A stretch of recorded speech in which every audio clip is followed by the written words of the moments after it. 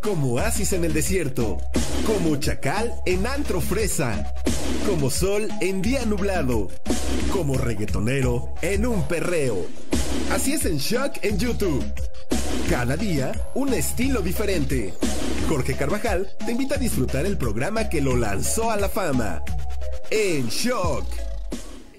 Hola, ¿qué tal amigos de En Shock? Mi nombre es Jorge Carvajal y estamos aquí en Productora 69, como todos los días, felices de estar con ustedes y agradeciendo todos los comentarios que hemos recibido, los likes, los, las compartidas, este, todo lo que nos dicen, muchas gracias y muchas gracias a los nuevos seguidores, por supuesto, y a los que ya están desde hace mucho, mucho, mucho tiempo, muchas gracias.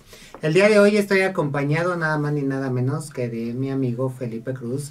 El Filip, ¿cómo está mi Filip? Hola George, ¿cómo estás? Ay, con nuevo look y toda la cosa. No, me saqué punta nada más. ¿Ah, sí? Sí, sí, sí. Yo pensé que, que ya habías dejado de tragar. no.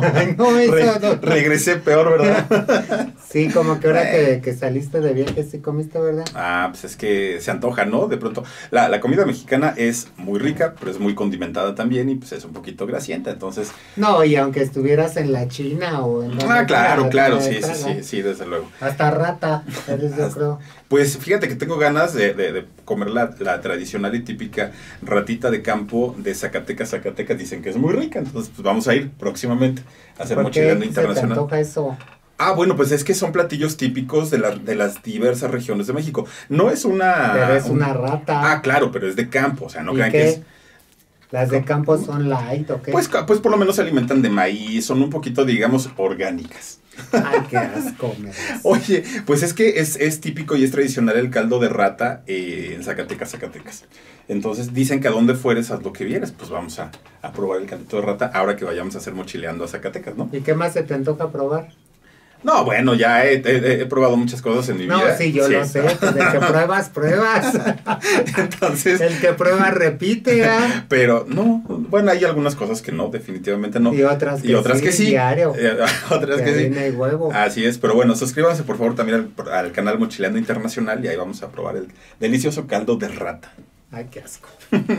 Oigan, pues, pues el día de hoy vamos a platicarles porque eh, se acuerdan que, la otra vez platicamos sobre el pistachón zigzag, que, que era satánico y toda la historia que ve alrededor de ellos. A muchos les gustó y nos dijeron que habláramos más sobre el tema. Entonces, bueno, pues resulta que justamente una persona que nos vio a través del programa, pues nos mandó unas imágenes que les vamos a poner aquí de un programa que se hizo del Chavo del Ocho en 1979, Philip. Eras un bebé. Este, y se tituló Una mosca en el café. Ándale, pues. Entonces, fíjate, en, en ese programa, eh, doña Florinda se le había ocurrido la idea de poner un negocio, una, una fondita para sacar dinerito, ¿no? Uh -huh. Entonces andaba con los tubos ahí atendiendo en la fonda. Y llegó el chavo del 8 y la chilindrina a, a desayunar, ¿no? Sí. Y entonces pudieron un café y bueno, todo giró alrededor de que encontraron una mosca en el café, obviamente. Okay. Hasta ahí, bueno, pues todo fue chistoso, muy divertido, ya saben, ¿no? La, la, las bobadas que se decían en el programa. Pero lo que llamó mucho la atención y principalmente de este, de este joven que nos mandó el, eh, las fotografías fue que en una, en una de las escenas... Eh, de, de, dentro de la cocina esta de, de, la fonda económica este al fondo se alcanza a ver un cartel que dice la hermandad de Satanás fíjate como si fuera un cartel así de, de toros ajá, ¿no? ajá, ajá. pero pero dice hasta arriba la hermandad de Satanás luego abajo dijo dijo dice muy como muñeca cade, cade, cadente o algo así, no sé qué querrá decir eso. ¿Muñeca decadente? ¿Algo así? No, pues a lo mejor, ¿verdad? Uh -huh, puede ser. Bueno, pues, pero el caso es de que llamó mucho la atención esto y porque decían que también dentro de toda la producción del Chavo del Ocho se manejaba este tipo de, de rituales satánicos justamente para lograr el éxito del programa. Yo la verdad es que ahí sí no, no sé, tú. Pues, pues mira, el hecho de que, por ejemplo, el personaje de Doña Cleotilde eh, fuera la bruja del 71, también recordarás un capítulo en donde los, lo, los niños, en este caso el chavo y la chilindrina y Kiko, iban, entraron a la casa y, empiezan a ver cómo la bruja está haciendo sus rituales y todo este rollo. No, ah, yo nunca la vi haciendo rituales. Sí, sí, sí, y sale con su olla así, con, saliendo humo y todo.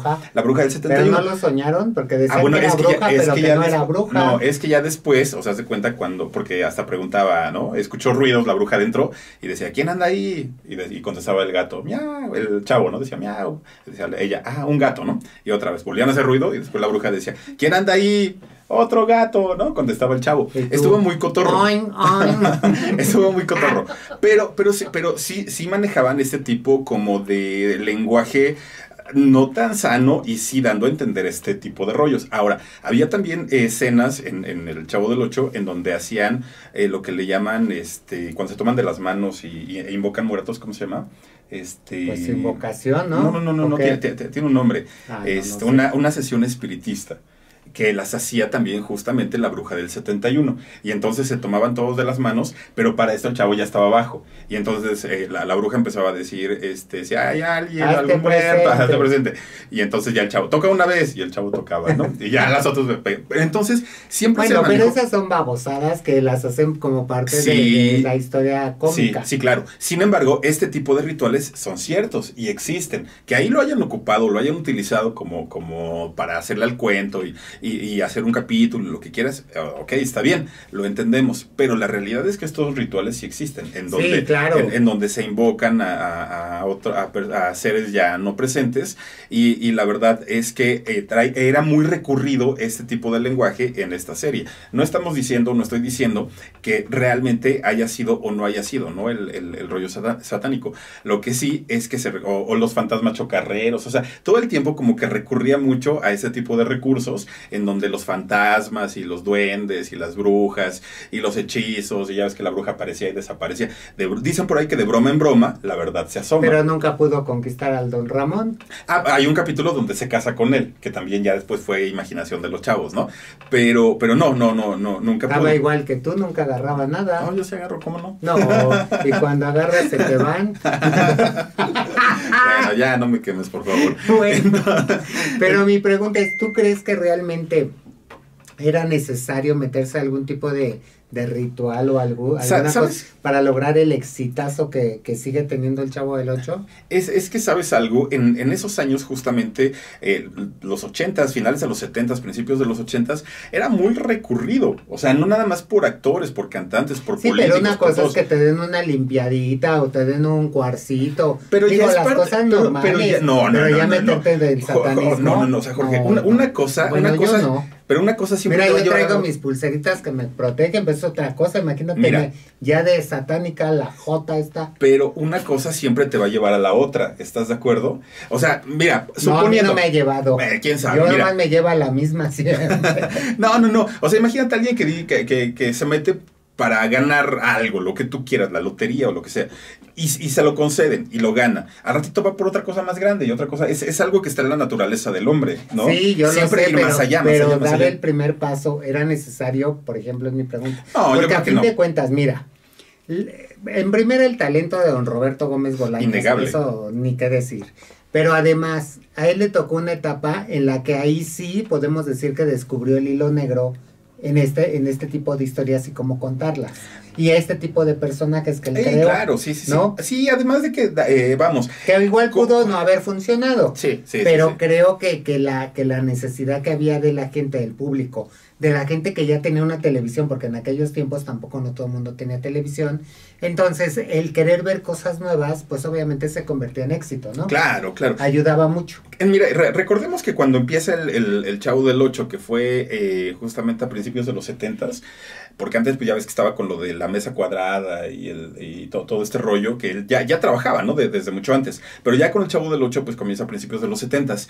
Y, y recordemos que para entonces, pues como tú bien lo acabas de mencionar, la televisión, pues estaba comenzando y, era muy complicado que todas las familias, en, por lo menos en México, tuvieran un aparato de, televisión. Entonces, obviamente los programas que se pasaban eran menos. No te voy, hay que decir, porque por ejemplo, habrá los chamacos, la gente joven que diga ahorita, ay, ¿cómo no iban a tener una televisión? Bueno, imagínense, por ejemplo, que, si, lo, si lo ubicamos en este tiempo, si tú preguntas cuánta gente tiene una televisión 4K o una televisión 3D, casi nadie, ¿no? Es muy, muy poquita la, la- O una televisión que cuesta más de 100 mil pesos, muy poquita gente. Entonces, en aquel tiempo era algo similar. Tener una televisión ya era un lujo. Claro, claro. Ahora, tener dos, no, pues bueno. No, En- bueno. entonces, como, la- como había solamente una televisión en la mayoría de los hogares, pues generalmente se veían los pocos canales que existían hasta ese momento, que era el canal 8, que después se convirtió, se fusionó, ¿no? Con el canal 2. Y entonces, párale de contar, no teníamos otra cosa que, que- que ver. Y si a eso le sumamos el gran talento tanto de los actores como del, de- del señor Bolaños, pues obviamente estaba todo dado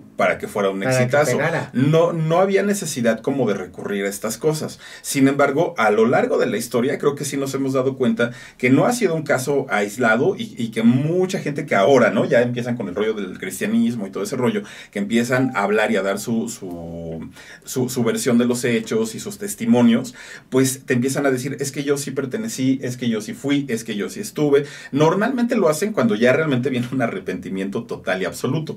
Pero, o, o- o Pero habrá- realmente habrá arrepentimiento. Yo creo que más bien cambian de religión porque así les conviene. Pues, pues es una necesidad, ¿no? Yo creo. A lo mejor cuando. Porque cuando si algo- arrepentimiento ni siquiera lo tienes que decir. Exacto. ¿no? Exacto. Pero, pero bueno, me sorprendió también saber que supuestamente este Paulina Rubio, que es, un- es una sacerdotisa satánica. Pero bueno, que lo dijo. Pues, pues aparece en internet eso, a mí se me hace muy raro. No creo. Yo, Yo creo que, que, que Paulina no es ni lista ni para ser satánica, ¿no? Pues no, no, no, no. A mí no se me hace. No lo sé, También Jennifer López dicen. Ah, sí. Jennifer López corrió con la suerte de que pues se muriera Selena, la verdad. Pues la verdad Y lo es que digo, sí. y lo digo no, no en forma despectiva, es real. Si Selena no se hubiera muerto, no la hubieran matado, pues seguramente no existiría Jennifer López, ni se hubiera vuelto multimillonaria, ni sería la más famosa de Hollywood, ¿no? Pues sí tuvo la fortuna de poder llenar los pantalones literalmente. De Y Selena. superarlo. No, sí. No, porque además, o sea, hay muchas que han, que han hecho el personaje de, de otra persona que ya murió y hasta ahí se queda. Sí. La verdad es que Jennifer López se pudo desligar de ese personaje y hacer su propia carrera y hacerlo Claro. muy bien y generar millones y millones y millones de dólares. ¿no? ¿Te acuerdas cuando Lidia Ávila, que ahora está, bueno, que estaba en 97, también hizo aquí, pero una puesta en escena, ¿te acuerdas? La Con- de con- Selena. Ajá, la, la vida de Selena. Pues no, o sea, Bueno, tú. me acuerdo, o sea, pero bueno, tú, Lidia tú- tú la veías y decías, chispas, como que, como que algo falta, ¿no? O sea, no, la verdad es que. Pues no, si está más cuadrada que yo. No, tiene, tiene bonito cuerpo Lidia Ávila, pero no. Sí, claro, pero, pero no para. Bueno, es que tú no eres muy exigente, ya me acordé. Se anda echando una botijona, peor que ella. Se decía. Este, ¿qué? ¿En qué? Saludos, por cierto. Cállate. Entonces, Oye, pues ya nos vamos, No, Mini. espérate, ¿cómo crees? ¿En serio? Pues vas bien lento, ya no contaste de las demás. No, pues eh, lo, lo que pasa que sí, la verdad es un tema un, un- un poco complicado, pero volvemos a lo mismo. O sea, hay rumores, hay muchos y siempre, pero algo confirmado o algo que te digan solamente lo, lo- lo del actor de Pistachón, que de boca de él dijo, sí, pasó esto y esto y esto y esto, de lo demás, pues la verdad es que son Ay, rumores, el ¿no? conductor de la mano peluda, Pero ya no ¿cómo vive. se llama? Pues no, Eh, no vive porque él este- sí lo, lo mataron por es- andar investigando de Este eso. Sainz, ¿no? Este... mm, Ra- Juan Ramón, Ramón. Juan Ramón Juan Sainz. Ramón Ajá. Sainz. Sí, no, ya en paz descanse. que era bien buena gente, pero Eh, pues, sí, le sí, gustaba sí, sí. eso de la investigación rara. Él, él, él empezó en la empresa donde yo trabajaba y era la mano pachona. Ahí. Ah, sí. Y ya después se Ya pasó yo a lo la otra. conocí como la peluda. Como la mano peluda. Era buenísimo, ¿no? Aparte, o sea, sí, la verdad. Y me encantó, ¿eh? Como la peluda. y se, Me y se clavó, me imagino, y se clavó mucho también en el rollo este de los ovnis y todo ese asunto. Pero era muy bueno, Era- eso sí, era lo claro, de él, ¿eh? sí, sí, Eso sí, desde luego. Pero sí, este, de hecho, el, el tipo el que le ayudó a salir del satanismo fue el que dijo que, que, que pues los mismos, no sé cómo decirlo, pero bueno, los mismos que están involucrados en todo ese asunto y que lo estaban como presionando al, al, al, al satánico, digamos, son los que mataron a, a Juan, A Juan Ramón. Oh. Y suena bastante lógico porque la verdad es que fue muy, muy extraña su muerte y muy repentina. Entonces, Pues es que en, en cuestiones de fe, de creencias y de todo eso, no hay nada mejor que respetar y, y cada quien pues que haga lo que tenga que hacer. No, pero- y récele al bueno, pero bueno de bueno, ¿eh? Bueno, es que si tú le preguntas a una persona que está dentro de ese rollo, te va a decir que lo bueno es eso. Entonces, entonces, pues más bien hay que. Mira, yo, yo creo que. Si hay gente loca que dice mi señor, ¿no? Bueno, yo, yo, ya conocí también.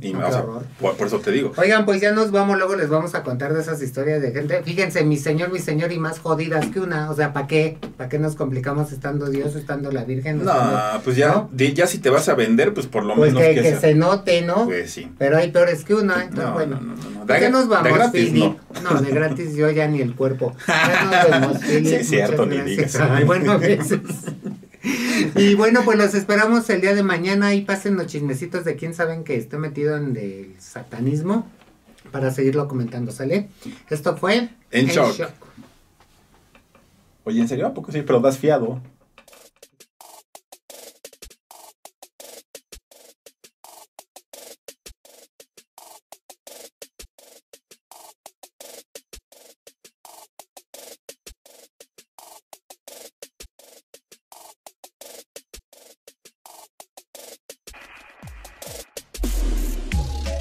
Como oasis en el desierto, como chacal en antro fresa, como sol en día nublado, como reggaetonero en un perreo.